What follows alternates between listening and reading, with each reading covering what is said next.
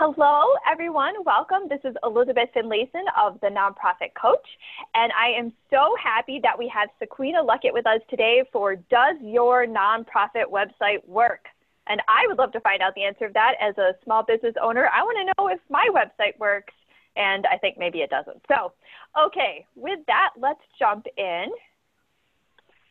Okay, I, as I said, I am Elizabeth Finlayson. I am the CEO and lead coach of the Nonprofit Coach. My mission is to create a fairer and more equitable, inclusive world filled with empathy and beauty. And my team and I do this by supporting our nonprofit clients with strategic planning, fundraising training, and also fundraising support services. So, with that, bless you. Uh, let's move forward. All right, Sequena, tell us about yourself. Hello, my name is Sequena Luckett. It's like C Queen. That's how you pretty much pronounce it. I always tell people it's like Sabrina with a Q, so it's easier to pronounce for people. Um, I am a business design strategist. I have been doing this for, I want to say 13, no, it's been 14 years now. I am also in the marketing sector too. So I kind of got the best of kind of like all worlds. Um, when I started out, I started doing uh, websites kind of on my own where I had a web designer to create a website for me. I hired him, I paid him, I was excited about it, and he botched it. It was the worst website I ever had in my life, but the best thing he could do for me is put it on WordPress. So I was super excited about that because I had to teach myself how to do it. I created my own website and kind of like the rest is history. Everybody's like always asking me for um, for different, you know, ideas and how to create websites and things like that. Um, most of my clients are larger scale clients, Ulta Beauty, uh, one, 1-800-Flowers, um, 1-800-Baskets. I have uh, worked in the marketing sector, creating um, advertisements and marketing and things like that. So I'm here to help as best I can as far as when it comes to websites and how I can kind of help you generate more income and um, things like that in your business. Okay. So, one of the things I wanted to ask is what is the first step to fixing my website? The first step, if you go to the next slide for me. Sure. So, um, I don't know if you have the right one up. You know, I think that might be true. Why don't I unshare and why don't you talk and I will find out what we need to do. Okay, no problem. so, first thing that you need to do in starting with your website is do a walkthrough. So, walking through your website is um, what you would normally do as walking through as a customer. I say go through it step by step and section by section. Um, we'll definitely get to do a walkthrough on here today as we kind of move forward, but I definitely want you guys to know that you want to have the same experience that your customer or your client is having as they are coming to your website and seeing the things that uh, they would want to see when it comes to what they're doing, how they're experiencing it for the first time. So another thing uh, that Elizabeth asked me was, what are three things do you need to do to have on your website? And some things that you definitely want to do is you want to definitely build a know, like, and trust factor with your clients. That's like a must. The first thing is always saying, well, how do people get connected to me? How do people know what I'm doing, how can they like me, and how can they trust me. And your website is kind of like your virtual business card. It's the one thing that people will always try to look for if they don't find you on social media. They're definitely going to try to find your website. So even if you don't have a full head-on website, my suggestion is to have like a, a website where people can start building and getting to know who you are, what you do. I'm seeing it from a personal basis, but you can also do it on a business side because even on the nonprofit, people want to know, well, what's your journey? What do they, what, is, how do they get to know you? How do they get to like you? How do they get to trust who you are? Because you're asking for donations. So people are asking for donations. They want to know who, who you are. so they have to know these things about you in order for you to kind of grow and expand and really get to know what it is and get to the nitty gritty of who you are. You can go on to the next slide. okay. So I want to check, are you guys seeing the build, no like, trust factor slide with the greenhouse? All right, good. Something worked. so three must-haves that you want to do. You want to tell people what you do, who you do it for, and what are the results that you get them. So in your case, as a nonprofit, what do you do? Who do you do it for? So who are you looking for? Who's your target audience? Who's your client? And what type of results that you would get for them. So in your case, if you're say you have a nonprofit that um, helps, you know, shelter homes for dogs, your results are well, um, someone has a dog that they cannot afford to keep anymore. Now you need to find a home for them. How many homes do you have that you can actually have people who want to adopt a dog? It's a number of ways that you can think about it as a nonprofit step. Think about, don't think, oh, I'm just nonprofit. Think, oh, I'm a business too. So looking at yourself as both a business and a nonprofit, then you have to understand you still have results that you want to definitely give people on your website so that they kind of know um, well if i'm going to donate funds to you and i'm asking for donations i'm going to actually they're actually going to look for people and have people adopt dogs or whatever nonprofit you're in. That makes sense and if i could just say too i think from the nonprofit um, perspective, you know, we always talk about impact. And so I think what Sequena is talking about is like, what are your results? It's like, what is your impact? And I would say for nonprofit, even more than businesses, they don't care about us, they care about like what they are helping to do in the world. And so we want to be able to tell that story. Um, and I think one of the things that's tricky about a nonprofit is we often we have two audiences, right? We have the people who are there to try to get our services often, as well as we have the people who might be funding or supporting those services. So there's kind of an extra layer to think through on this. Um, but these are still three really simple questions we want to be answering um, for our websites. Yeah, All right, can I just say one thing here? So when Sequena and I were preparing for this, I said, you know, it'd be great for you to share things like that are working. It also might be great to share things that are not working. And so I volunteered my website for um, her to look through. So I have no idea what she's going to say here. So I just want you to know I'm being brave and I'm letting Sequena just say whatever she needs to say to me. So um, I'm just, that's all. Thank you, Elizabeth being so brave. Um, I, I really don't have much to say and, um, you know, like really bad things to say about your website. The whole point of us doing a walkthrough is so that you could really get an understanding of what people are really looking for um, and how you can actually connect with your audience in a way where you're not even trying. It's just, it's just going to happen. So I'm going to share my screen if that's okay with you so that I can show you um, I'm going to show my website and I'm also going to walk through Elizabeth's website. All right, you should be good to go. So I will stop share.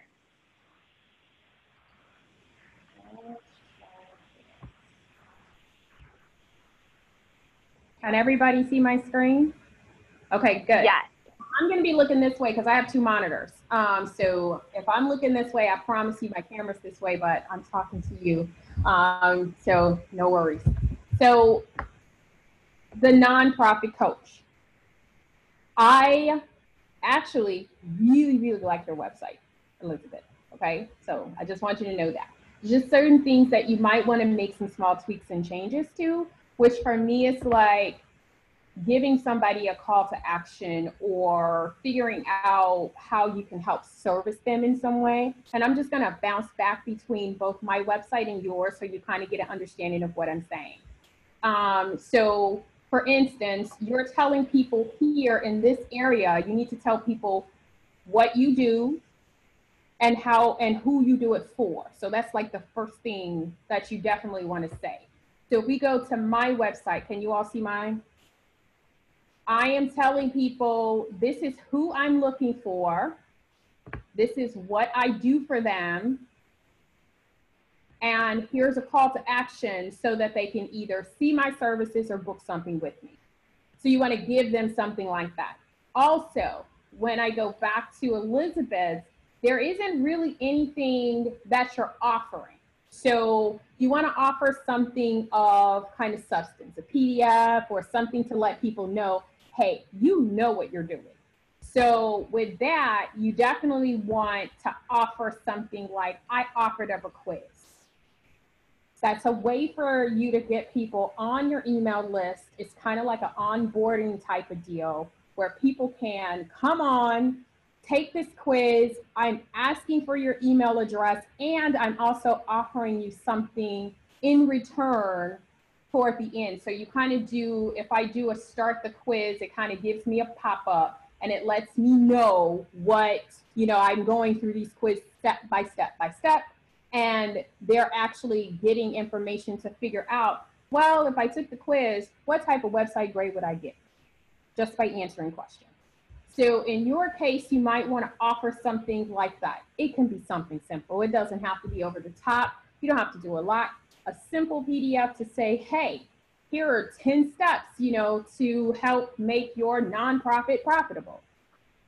Or, um, and you can also in that PDF, once you ask for their email address, you can actually send an email out to them saying, hey, thanks for signing up. Here's the PDF that you requested.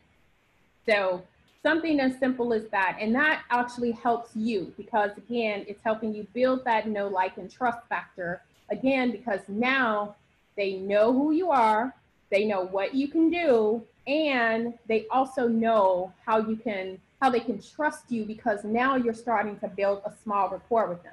You haven't even spoken to them, but they're starting to feel like, oh man, she's really paying attention and in my head because I really want to make this nonprofit make something more than what what I'm doing now. Or if I'm in a business, I really want to make this business profitable but she's really helping me do X, Y, and Z. So that's what you're trying to figure out. Um, then it kind of stops here. So then there's nothing else that you're offering. You're saying, hey, get in touch with me. This is great. I like the fact that you're saying get in touch with me, but get in touch with me for what? So you want to kind of tell people, well, what's your what you're offering them so that they kind of get a true understanding. And I'm going to go back to mine because these are the things that I can offer. Roadmap to revenue, brand, you know, creative services that we also offer because we also do uh, web design, graphic design. We are marketing planners. We are brand strategists. We are, I mean, I have a whole powerhouse of people that I can work with. Um, so I also give them a call to action. Hey, let's book a call with me. It's a free call. That's something that says, oh, well, let me click on it and see what what she's talking about. And it's a 30 minute chat with me so that we kind of get an understanding to see if it's something that we could work together and do it. Um, another thing, I call this my street creds, this area right here. Um, these are street creds to let people know I call them street creds because it's easier. but this is letting people know who your clients are. So you definitely want a section like that. If you've worked with various clients, you know, it could be large or small. It doesn't matter. It's just whatever benefits you you definitely want to tell people what clients you've ever you've worked with or um, in your case if you're a nonprofit and people donate millions of dollars to your nonprofit then you can easily say hey we have you know some prestigious groups of people that donate to us every year. And that lets us know in our minds oh well i mean if she's worked with grubhub before i might work with her. Because these are larger companies that people know who they are and they know them. They know these brands, they trust them. Um, and also, another thing, especially for your nonprofits, you definitely want to do some sort of case study. So, um, in your case, Elizabeth, you help a lot of different nonprofits. You definitely want to have something like a case study of how you help one company go from um, making $100,000 a year in their nonprofit or having these donations to like millions of dollars. You definitely want to say something like that to people so that they kind of get an understanding of who you are. Again, everything that I'm saying is building this know, like, and trust factor of you because they want to know who you are. Another thing is what your clients are saying. So you want to talk, you want to ask. Every time you work with the client, ask them for a testimonial, whether it's video or it's just a, a type that they just sent you an email or they posted it on social. You want something saying, hey, this is what they're saying and work done for them. Um, and you also want to have like feature section, like you've been, you've talked to, a webinar. I can literally take your webinar and say, hey, I've been featured in this area. Or if you haven't been specifically featured and you have clients that have, you could definitely say, hey, my clients have been featured in these, you know, these spots. ABC, NBC, any of these places, people want to know that because that's information to them. They're like, oh, she was on NBC. she was in Essence Magazine. They want to know these things. Believe it or not, because you're building that, that helps them understand, oh, well, they are somebody. They may be small, and it doesn't matter if you're small or if you're like this. They just want to know who you are and how you can help. I'm going to stop sharing. We're going to go back to the next. Do you have a question for me, Elizabeth? I was just going to say, like, how I translate some of this for nonprofits is you can think, like, what the clients are saying can be those, like, you know, we often call them client testimonials of the people who receive our services. Um, and, you know, those impacts, like, there's so much emphasis right now on measurement, um, effectiveness, um, but they can be things donor spotlight. So I think how I'd like translate that is those are some of those things too. And I think when we talk about like those offer, I think for business it's so much easier to see like, oh, of course, you know, she's got this class she can offer or a or a you know a PDF or whatever. But I think we sometimes lose sight of is we have so much expertise within our nonprofits. There are things that we are doing, um, whether we're helping people to get um, into a home or go through a an application process for student loans, or whether we're connecting to something, and we can be offering that to people and letting them know some of our expertise and what we do. So um, don't have to be like constrained to thinking like, oh, well, that's a business thing. It's like, no, how do we as a nonprofit offer something? You know, arts offer all kinds of things, right? There's shows, there's all kinds of stuff. So just putting that out there. Yeah, there's packages, there's things that you could actually say to people. And like I said, it could be super simple. It could be uh, a simple podcast that you were on and you just want to get that out because you thought it was so inspirational. It's a number of ways that you can take what you do and just start putting it out there to people so that they get an understanding of who you are and how you can help them.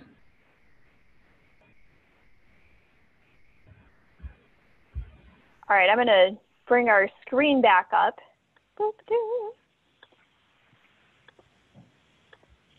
All right. Can we see here? Yes, I see it. Oh. All right.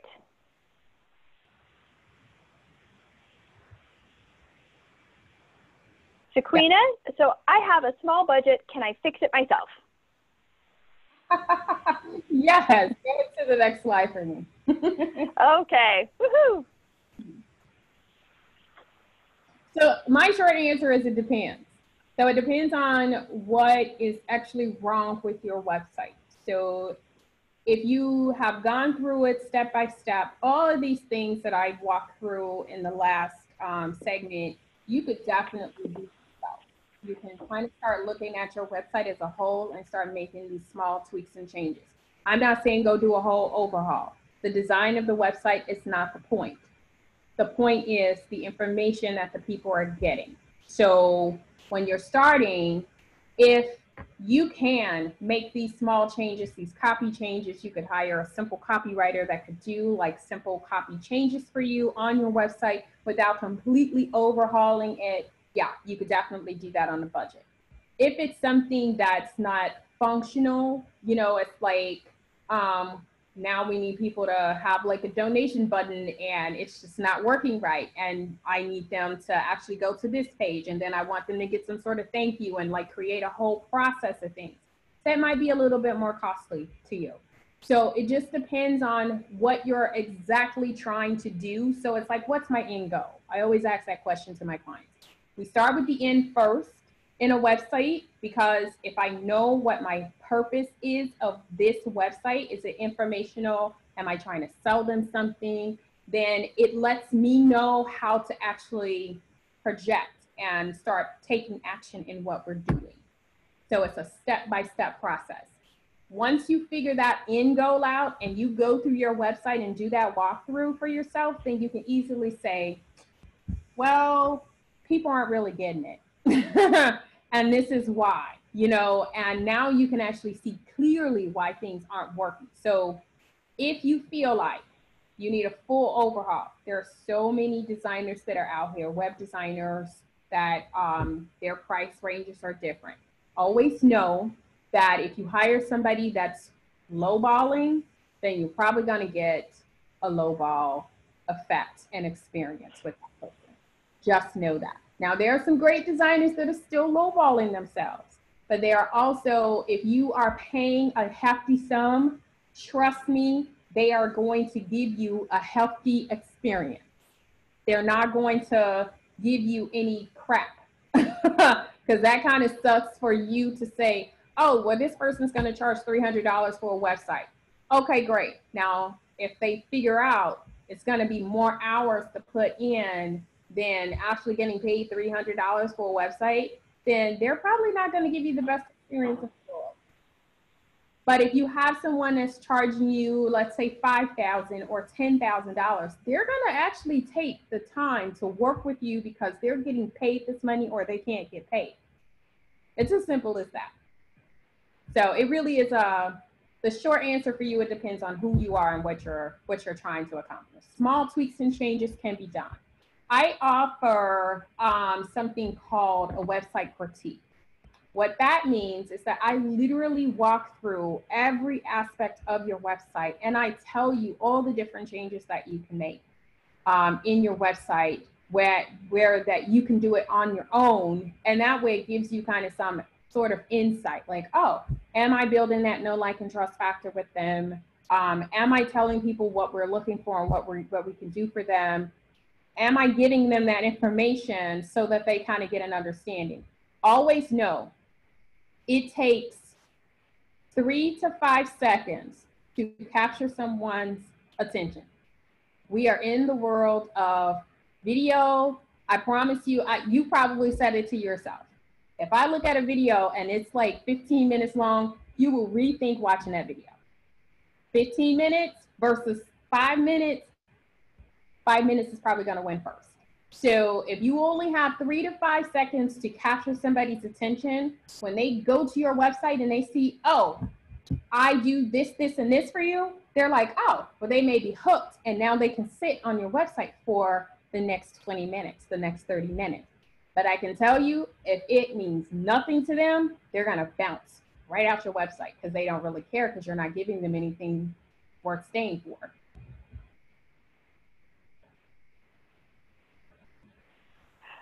I just also wanted to say, um, I really liked when you and I were first talking, Sequena, about how you're not just like looking at somebody's website, like, yeah, here's a website, but really walking them through um, all of the strategic thinking that goes into developing that website and and what does it take and all of the, the kind of business decisions that go into that whether we're a nonprofit or not.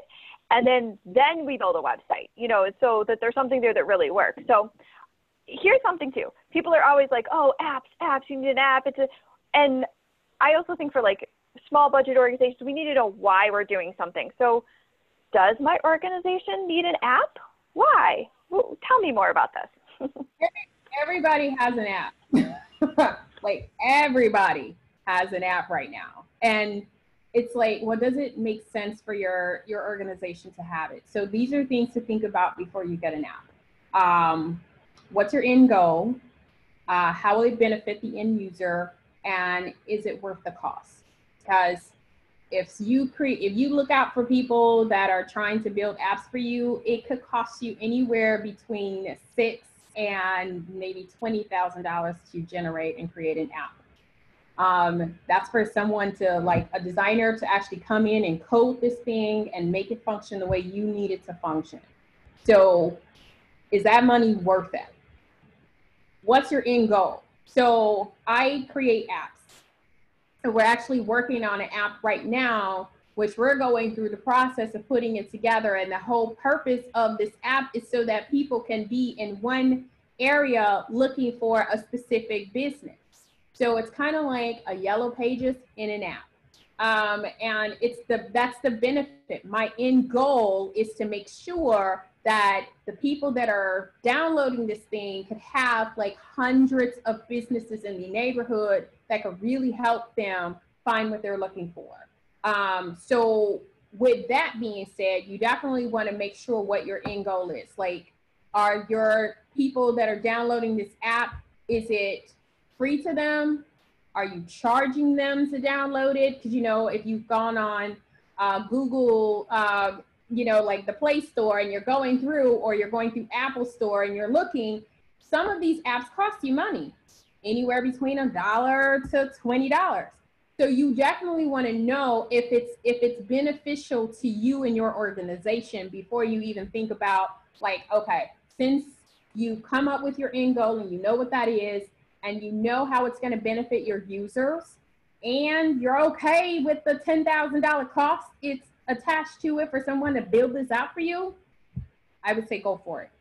If it's not beneficial for you now, I feel like we need to sometimes step, stick with what we have, which is easy, like let's do a website, or let's do a calendar or let's let's just have a quick button that says hey just donate to us because we really need your help doing whatever we're doing.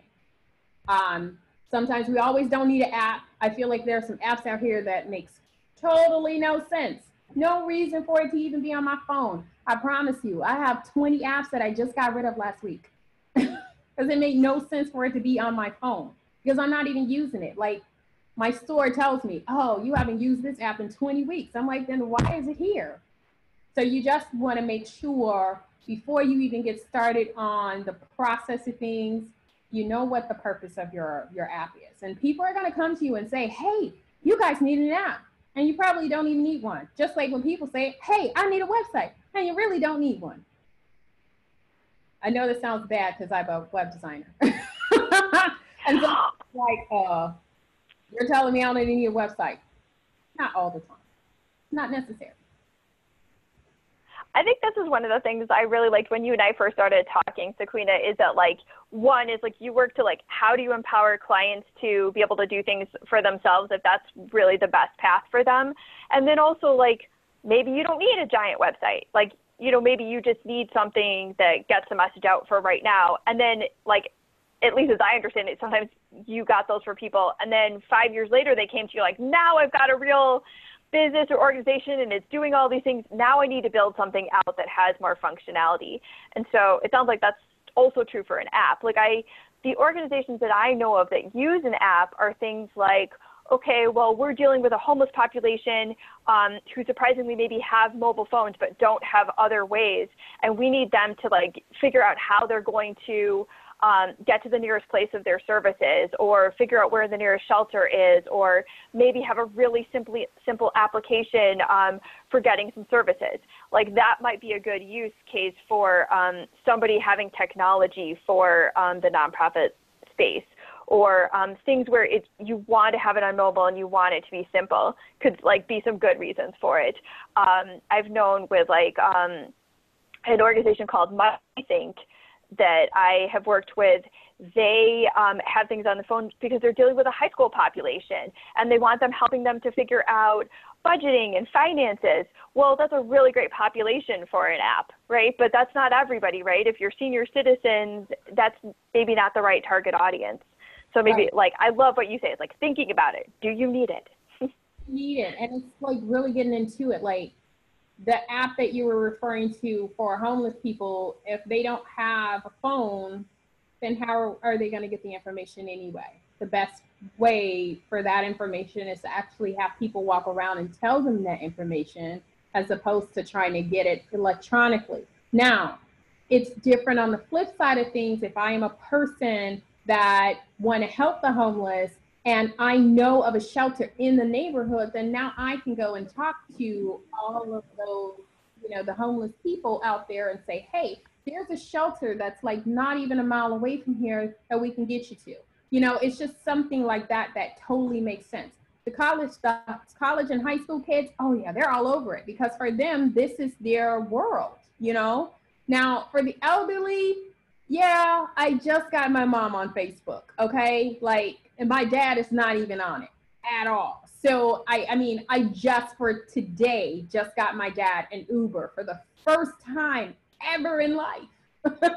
but for him, he doesn't do any of that. He doesn't know about apps. He doesn't know he my parents are older, you know, in their minds, they're like, I don't really need this stuff. I just need to get from point A to point B. Can I go to the store? That's all I need. They may not even know about apps. So it just depends on who your target is, what's the end goal, and how is it going to benefit the people that you're trying to benefit. That's a definite must. Now I do have a segment because we have what 30 minutes. Yeah, so I'm here to answer any of your questions, whether it's about websites or apps. I wanted to keep something open for everybody. So I, I'm sure you guys have questions. So fire away because I'm a I'm a question person.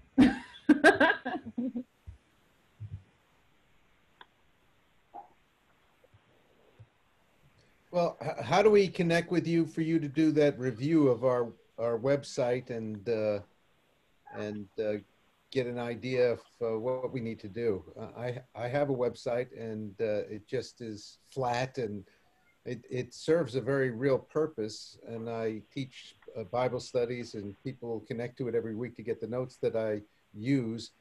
Uh, but I also want to generate some support through that if it's possible. Yeah, definitely. Um, can you go to the next slide for me, Elizabeth? Sure. Let me just move something around on my screen. I just moved all the pictures so I could see everybody. Do, do, do, I think our content okay. is next. Now, um, the benefit of having this uh, amazing webinar, I'm super excited to say that I'm offering the, the website critique at $100 off. So you could get it for 197 just shoot me an email to hello at sequenaluckett.com and just mention this email, um, I mean, mention this webinar to me, and then you'll automatically get the, the $100 off. I will then, we'll connect and we'll go through a walkthrough for the critique. The critique is very simple. I usually, it takes me anywhere between 45 minutes to an hour. Um, you're welcome to be on the call if you want to. If you don't, that's okay is I literally, you just give me your information, your, um, your website, and I do a video walkthrough of your website. I record it and I send you the link to it so that you can always go back to it and that's what you're paying for so that you can actually go and say, oh, well, she said this, or maybe this suggestion might actually work for me. Um, all of the stuff that I'm doing is literally just as we went through this walkthrough is the same. I literally start as if I am a new person, which I am. A lot of times I don't even look at the website until it's time for me to do the walkthrough because I want to do it as if I am new to you and I want to see it from a consumer standpoint and not from just from the logistics of things. And I click all buttons.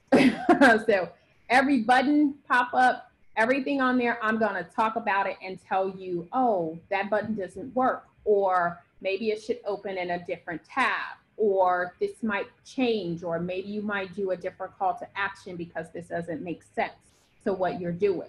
And it gives you kind of an insight on how a person is actually walking through your website seeing it from the first time and if they're bouncing off. Because i'm going to easily say to you oh it that person i'm just going to bounce off of here because it doesn't make sense to me and what i'm looking for um, and I think that will might be a benefit, a benefit to everybody.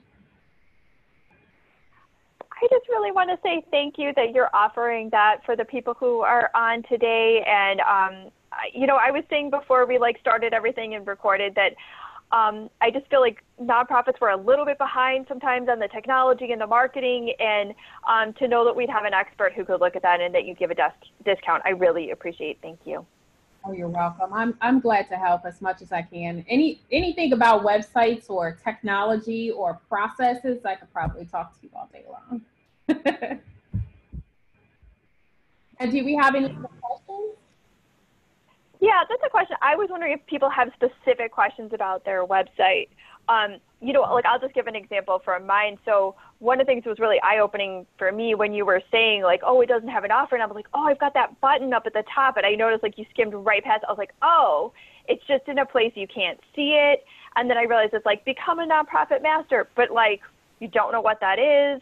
And so just kind of like just even that moment, it was like it's not that it's not there, it's just not placed in a way that someone's going to figure out what it is. And I do know that people already like would go on and not know like what the services are that are offered and and those kind of things. So um, yeah, so I think like translating that in the world of nonprofits, I think that one of the things I've seen um, as a consistent mistake over websites is because we were service oriented people, um, serving too many masters you know, we're just like, but it has to be like anybody who comes off the street could figure it out. And then we need, it has to serve like, I'll just give like homeless people as an example. Like it has to serve the homeless people, but then, oh, but also the donors. Oh, but wait, what if somebody like wanted to come to a food pantry? And then like we end up putting so many layers of stuff that the website really doesn't make sense to anybody. Um, and so actually that's one thing I don't want to put you on the spot, Sequena, but what about this idea of these multiple audiences? Are there ways we can solve this technologically? Does it mean like kind of extra websites or extra pages or different buttons or light boxes? Things I've heard about. there are multiple ways that you can um, do multiple audiences because sometimes it is when you look at it, it's so chaotic where you're like, oh my God, what am I here for? And if you're trying, you need to figure out who are you serving first. That's the first thing you need to do. So once you figure out the main person, so if your focus is your donors and people donating things to you, then that needs to be your target audience that you're targeting right away. Now, you also have opportunity in your website because you can have multiple pages of a website. So if it's as simple as down at the bottom if you're like if you're a sponsor and you want to sponsor or do something for us or if you want to um, you know give in some way it, whatever you want you have different touch points on your website that you can have those things where it could be a simple pop-up for a person or it could be they go to a different page they just click a button and it goes to another page for them where you speak directly to them or another big thing too is if they're on social, like say you're on Facebook, Instagram, Twitter, LinkedIn, all of those places, when you're having conversations about certain things, is you can post specifically to whoever your target is at that point. You can start creating simple pages for just that target, not the whole website, just that one area where you say, here, click here and donate. And they go right to the donation page or if they want to sponsor, they can click a button and go right to the sponsorship page. Um, that way, just like you would when you send out emails. So if you send out an email to somebody and you're saying, hey, we're trying to raise money for this, then you would send them right to that one targeted page instead of sending them just directly to the website because once they get there, it's too much. So when I start with my clients, I always say, who are we targeting? If I don't know who my end person is, then there's no way that I can get all this information correct on my website. I think this makes sense because, like, I know we know from fundraising that landing pages are so effective that, like, essentially you're simplifying that message and you're saying, like, okay, you came here because of this gala. All you're going to see is the gala stuff. Like, you don't need to see that, like, next March we've got a tennis tournament or whatever it is. Like, you want to be like, oh, okay, this is how I do gala stuff, and that we're simplifying it for people. So it, you know, it makes me think that for all the emails we're sending, and and some people do radio ads or Facebook ads or whatever, we always want to make sure that we're paying attention to um, where they're coming from and what is that whole process all the way through to signing up for services or making a donation or whatever it is. Um, yeah, that's what I kind of hear from what you're saying. I'm a flowchart person. So I'm the type of person that creates flowcharts based on if um, I want people to come to my website, what do they see? Or if I'm on social media and they're clicking through to get to my website to this one page, where do they go? And then it's literally, what do they do next? How are they going to connect with me? Am I asking for an email address in the process? Am I doing this? So it's like all these things put into one little package, and it's literally a box for every movement that they're making. So they know my end result is getting a donation for the gala. you know, so now I know they're going to give me a hundred dollars and I can give them a table and these are the things that they're going to get when they get there because I'm literally guiding them through this rabbit hole pretty much to the end. Yeah, go ahead, Abby. This hey. is like, I'm Abby from Squashwise in Baltimore. So um, I missed some of the presentation because I got a call from a donor, which I chatted to Elizabeth. So I was like, yes, that's good. But anyway, um, I'm interested in a little bit of your advice about WordPress. I heard you mention WordPress at the beginning. We use WordPress. I had someone build it, you know, way back when, and it needs massive upgrades. I find WordPress very confusing in some ways. Sometimes it's easy for me to figure something out. Sometimes I feel like I'm in Salesforce that hasn't been developed. Like it's just this massive pit of options. So I'm curious because I want to assign a website upgrade to a couple people on my staff who've expressed an interest. Like, is it easy enough for people to kind of get a hang of it with a couple of, you know, we can Google tutorials and stuff like that? Or is it more like we should be engaging with a professional to help us who really understands WordPress, like the same way that you would for Salesforce? I'm not going to try to build my own Salesforce database. That's a lot. That's a lot, trust me. yeah. Uh, so to answer your question, as far as um, it depends. What type of theme do you have? And that's the thing that you want to think about. And um, looking at navigation because themes are not all created equal.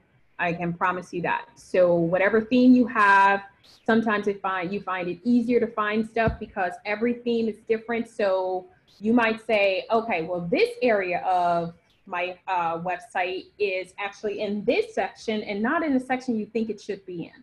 So if that start with that first, and if you're trying to do this on a budget, I suggest going to um, YouTube. YouTube's my friend. If I don't know something, trust me, I'm gonna find it.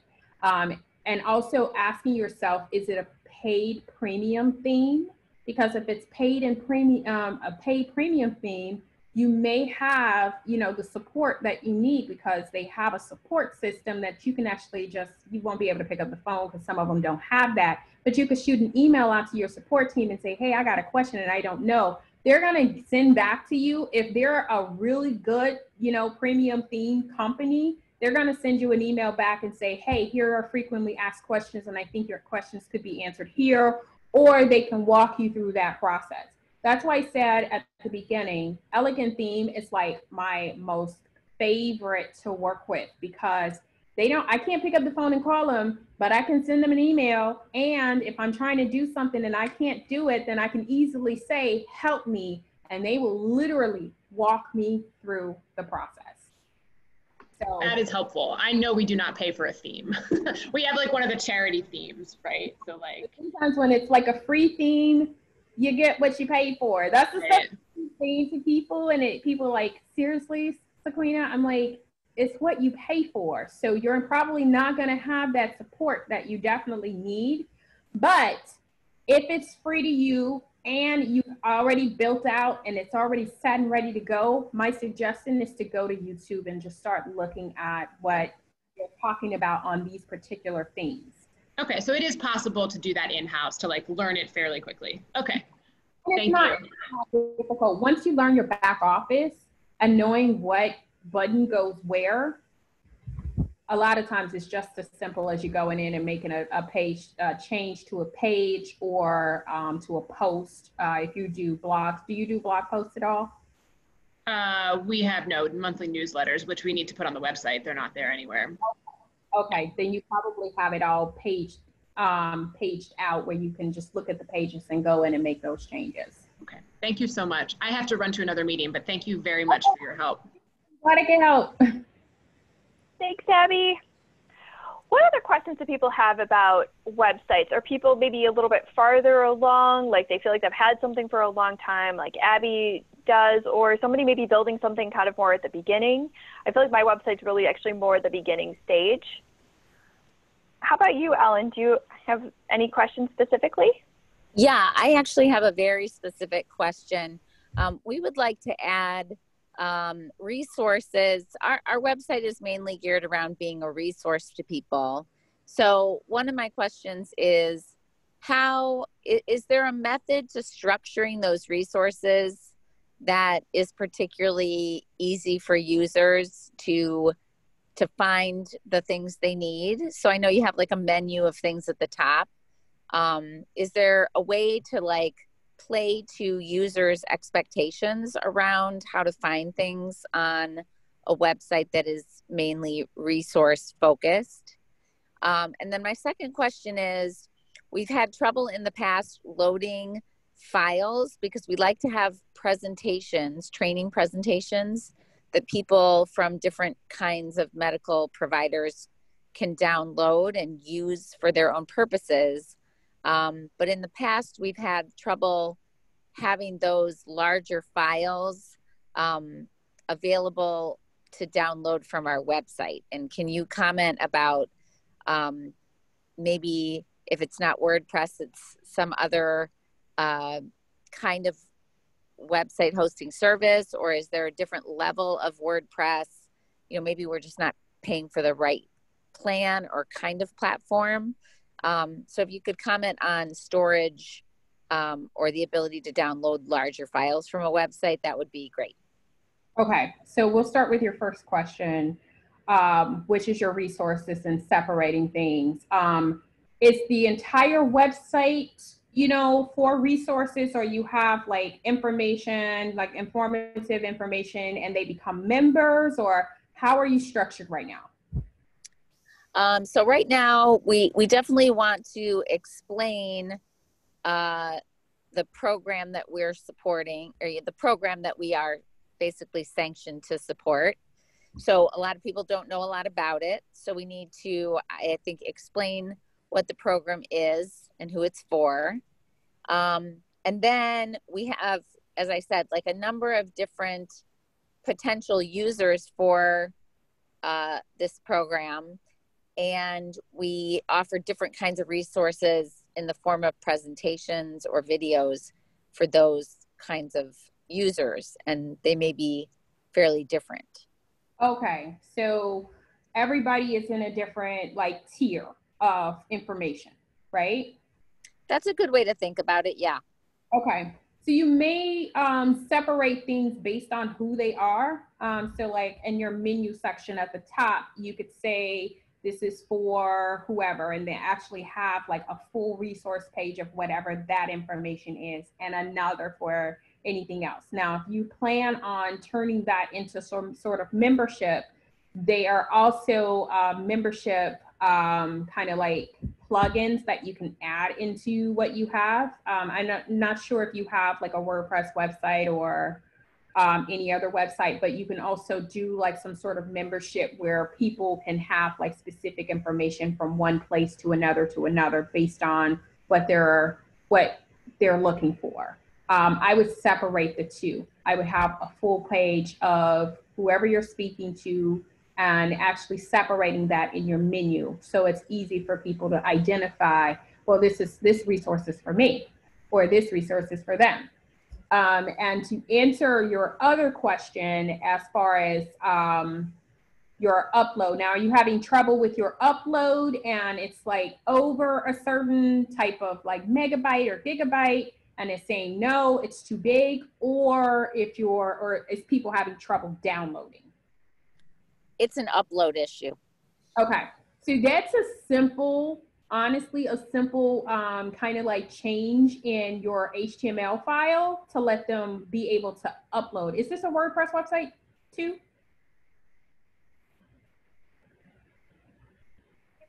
I'm sorry, can you repeat the question? Okay, uh, there should be Ryan at 1230. I'm sorry, I still didn't hear the question. okay. I was asking if it was a WordPress website. Uh, yes, it is a WordPress website. Thank you. So that's a simple change that you can make to say, hey, um, because certain um, companies like GoDaddy or any of your providers will say, well, we only have like a max that you can put in. It's a simple fix in a file where you can say, hey, I need more, you know, more upload um, speed. That way you can actually go in and just change it. It's honestly, you could shoot it, you could do it on uh, YouTube and say, hey, I need more, you know, uploading, you know, speeds in my um, in my WordPress. And they will, I mean, it's a bunch of videos that could show you how to do that. If it becomes too technical, because it is, it's a little technical depending on who your service provider is, then you might, you know, consult somebody like myself who could just go in and actually make that upload, you know, change for you. Um, if it is too overwhelming, because sometimes it could get a little overwhelming, then I mean, don't do it all together. Just find another web designer that could go in and just fix that for you so you can upload bigger files than what they're offering. Because I think it's like 512 or something. They give you like a minimum that you can go in and change that. Okay, thank you very much. You're welcome. I thought that was a really great question. Yeah, because I think that's the kind of thing someone might not think to an- to ask, but um, it's the kind of thing I think would trip up a lot of people. Um, particularly, like in their case, it's a very resource-heavy website. Yeah. Um, how about you, Barry? We just have a couple minutes left. I was wondering if you had any questions. You know, I have to apologize because I, I kind of came and went. Um, I, I got a new stove out of the deal, though, and uh, some really, really valuable information from the beginning of the webinar when I was um, most present. And um, so, what I'm looking forward to actually, Sequena, is going to your website and spending some time there. My own website, I rarely use. I have a grant writing business and a consulting business for nonprofit organizations. And um, uh, fortunately, I suppose I've I've gotten uh, enough uh, clients over the years through word of mouth, but I I know that I need to keep it up to date because there will be folks who will be uh, you know going there and and looking at it and seeing it. I have no idea how often I should do it. And interestingly, um, in the very beginning beginning, it was difficult to come up with usable images. And so there was a big question, and I guess this would be my question to you. Um, there was a big question of like how much blank space, how much empty space, you know, should we have? Because I think that's that's kind of the preference now is that there not be a lot of um, um, clutter on a web page so um, there's I, I, guess the question is like is there a balance of formula? Um, how often should i refresh the, the the images and you know that sort of thing? So i suggest anywhere between three and six months you should be trying to look at your website um, for small simple changes. I'm not saying a complete overhaul every three to six months. That's a lot of work I'm saying if you may need to tweak things, like your copy may need to change a bit because now your target is different six months from now. Um, you may go in and start making like small changes like that. Sometimes you don't even need an update. I haven't had needed an update on my website. I always go back and look at it though and say, well, am I still targeting the same people that I was targeting a year ago? If that's not the case anymore, then I may need to just make some changes to it. As far as images, um, I'm not sure because you there's oh my god, there's so much stuff out here nowadays. Like you could buy images, you know, that's gonna pertain to what you're doing, or you can find this stuff for free. You know, um, unsplash.com is a really good resource if you're looking for something that is um, you're looking for some great images, but you really don't take your own pictures, you know, because sometimes you just don't.